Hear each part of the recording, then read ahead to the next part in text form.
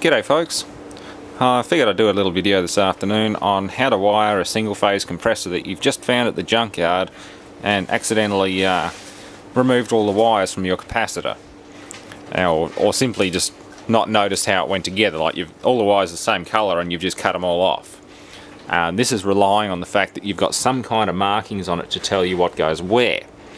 If you have absolutely no markings on it, like this foam gasket's missing and the plastic cover's missing, and you've got no idea how it goes together, um, you might be in a bit of trouble. If it's a single phase compressor, you can ohm from common to each of the uh, start and run terminals, which is say common to, common to run and take a reading on ohms, common to start, take a reading, and then compare the two, read from run to start, and then they should, this reading should equal these two readings combined, added together. So if you try enough um, enough combinations, you might come up with something, but then if your compressor's half burnt out or damaged, there's no guarantee you'll get any kind of accurate reading. You'll always get errant readings on burnt up compressors. So if you've got a compressor out of a healthy working unit and you've completely lost your, um, say the gasket or whatever has the markings on it, in this case it has for run, um, S for start up in the top corner there, and C for common. Uh, it's easy enough to tell you which terminal is which, but if you've lost it, you're going to be doing a bit of guesswork with a multimeter. Um, yeah, I just had a video sent to me from a uh, another YouTuber who just did the similar sort of thing. They ripped a compressor out of a unit. They don't have any markings on it. Oh, actually, they will have markings on it. I recognise the compressor, but they just don't know where to wire it up. They've got the plastic box with two caps in it. One cap was the fan capacitor, which you don't need, and one is exactly the same as this. So that's sort of where I'm going to go into details on the caps, which I do not know exactly what cap goes with what compressor. If you didn't get the cap with your compressor, you might be in a bit of trouble.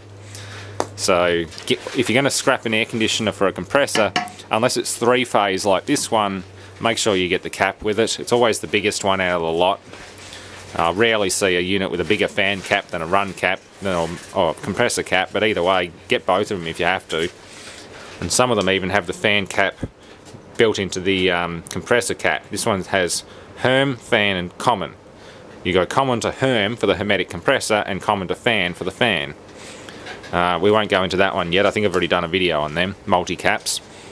But internally, these two are the same. These two terminals are bridged between each other, and these two are.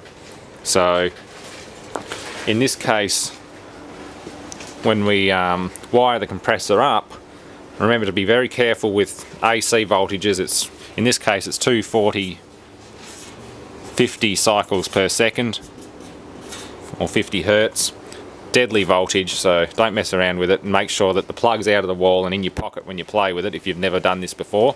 Like if you just want to use it as a experiment a vacuum pump that sort of thing and you've never done it before make sure that you ground to the compressor body which is this wire here uh, it is an electric motor if you don't ground an electric motor the whole metal casing will float at line voltage if one of the windings is short to the metal casing.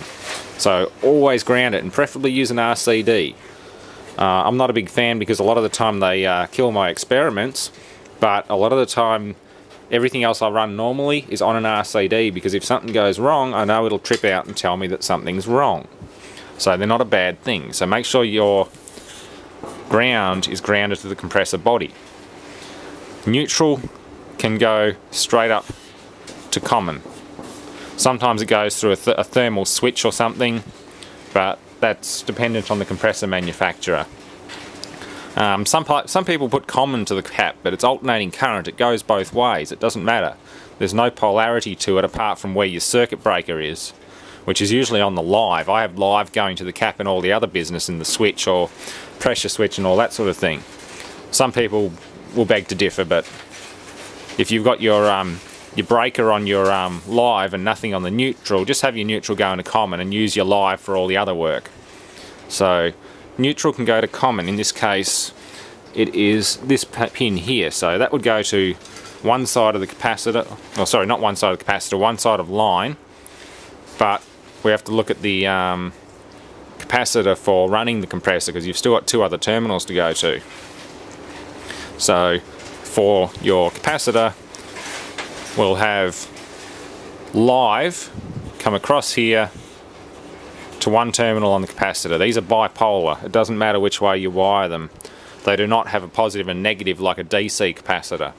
DC will always have a black stripe or a marking on one side or a negative and a positive. These don't. These are AC capacitors. They don't care which way they go. Like I said before, AC current reverses direction periodically. So you have live going to capacitor. Um, you can have a switch or something in there to break the circuit, a pressure switch or a temperature switch or whatever you want. Just a mains on off switch, a 10 amp on off switch. So you've got live going to the cap and then you can go from cap to run on the same one. So run gets 240 volts, mains. But you do not want to have that going to start because the start winding only wants enough charge to get the motor running and then just keep running. If you supply it with constant amps and, and voltage, you actually burn the start winding out. So that's why the cap's there. Because it'll send a I suppose an emulated phase to the start to get the motor running. It's like three legs trying to run.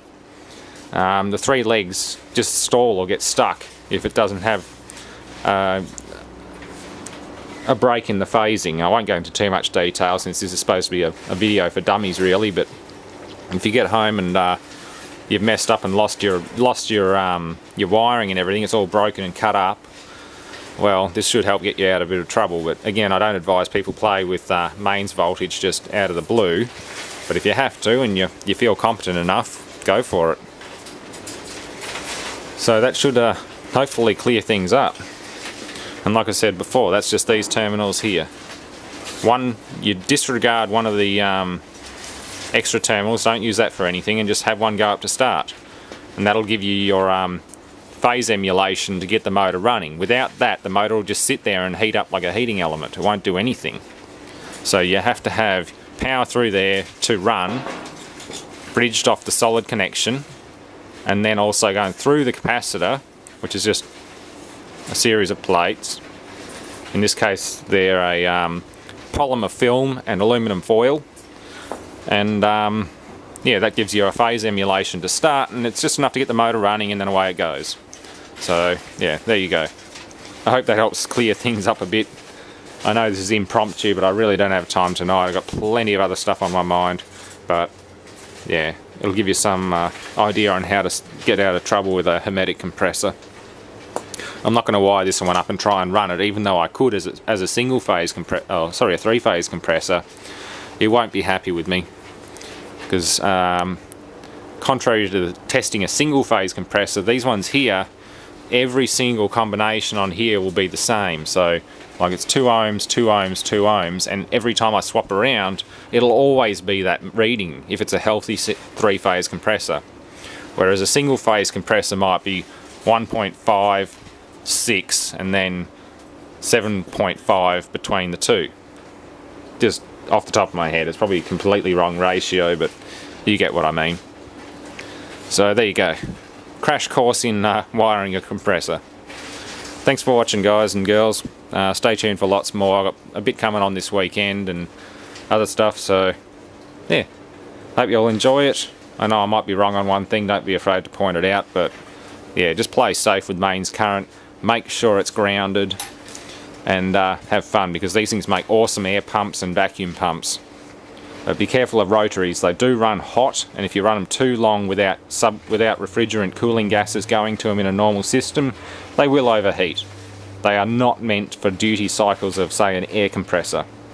The gases going back to them are supposed to be cold, chilly. This pipe's supposed to be sweating like a beer can when you get gases going back to it to cool it down.